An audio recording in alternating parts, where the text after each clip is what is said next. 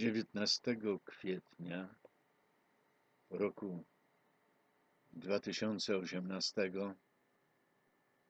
przyszedł do mnie taki wiersz. Wyklęci.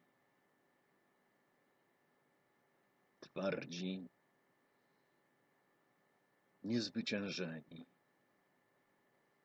dalecy jak obłoki.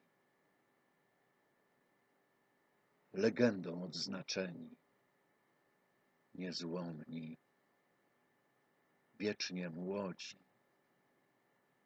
Takimi pozostaną w historii i pamięci, pełni godności, wiary, hańbę zdrady zdeptali. Im zawdzięczamy wolną za to życie oddali. Na łączkach, w zagajnikach znajdujemy ich kości,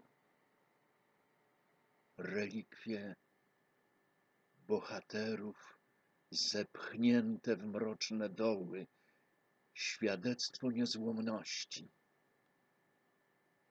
Szkoły lepszej nie znajdziesz jak żyć, jak się zachować, zawsze godnie, jak trzeba.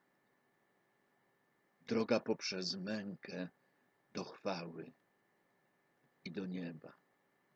A my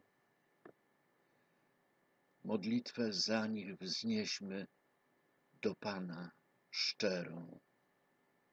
Cześć wieczna, cześć i chwała. Chwała bohaterom.